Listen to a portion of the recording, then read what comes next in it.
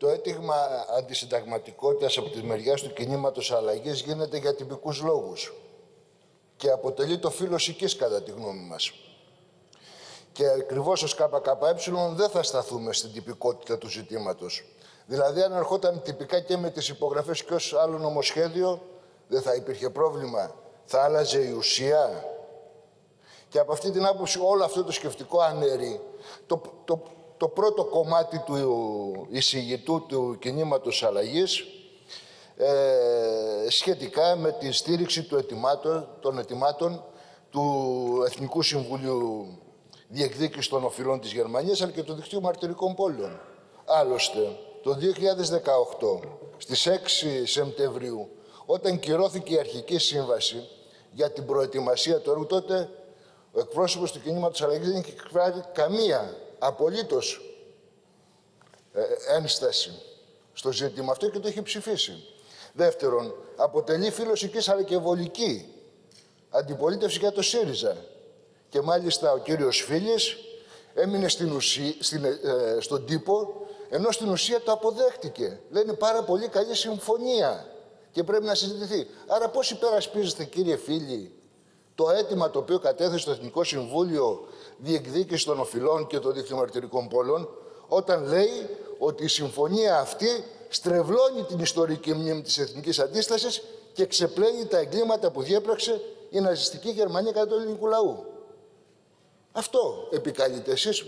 Το στηρίζετε αυτό το Όχι βέβαια. Δεν συμφωνείτε με αυτό. Γι' αυτό ακριβώς και μένετε στην τυπικότητα. Επί της ουσίας λοιπόν, Αυτά τα μορφωτικά ιδρύματα που ξεφυτρώνουν σαν μανιτάρια, είτε διακρατικά είτε από κράτος σε άλλο κράτος, δεν είναι αθώες περιστορές. Και δεν θα μπορούσαν άλλωστε ποτέ να είναι αθώες περιστερές. Γιατί η εκπαίδευση δεν αποτελεί ανεξάρτητη μεταβλητή. Σχετίζεται πάντοτε με τις επιδιώξεις των αστικών τάξεων της κάθε χώρας.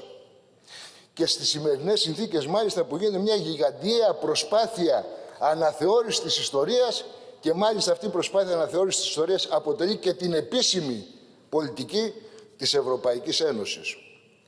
Από αυτή λοιπόν την άποψη, ως ΚΚΕ βεβαίως συμφωνούμε ότι πρέπει να υπάρχουν σχέσεις φιλίας, αλληλεγγύης ανάμεσα στους λαούς και στις νεολαίες. Αλλά αυτές οι σχέσεις φιλίας και αλληλεγγύης δεν μπορούν να γίνουν υπό το καθεστώς τσακίσματος της ιστορικής μνήμης και κάτω από τις επιδιώξεις, τις εκάστοτε επιδιώξεις των αστικών τάξεων. Έτσι λοιπόν όπως το 18 είχαμε γύρει σοβαρές αντιρρήσεις για τη δημιουργία αυτού του Ιδρύματος, έτσι λοιπόν και σήμερα αταλάντευτα υποστηρίζουμε την άμεση απόρριση της συγκεκριμένης, των συγκεκριμένων διατάξεων και της συγκεκριμένης σύμβασης.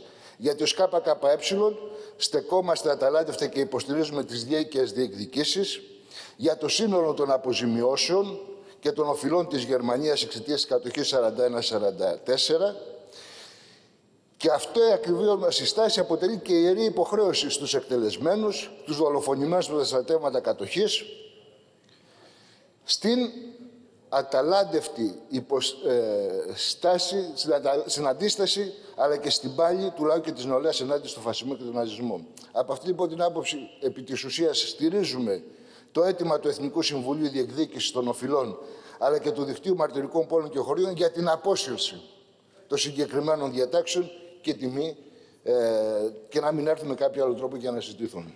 Την ακύρωση δηλαδή της σύμβασης.